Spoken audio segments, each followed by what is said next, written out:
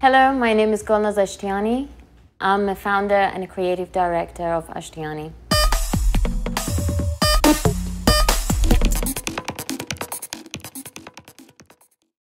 I wanted to create a, an ultimate piece that anyone can feel unique and, and, and personal in it. I've realized that there's a problem within fashion industry and that's buyers' constant demand for new styles, new products.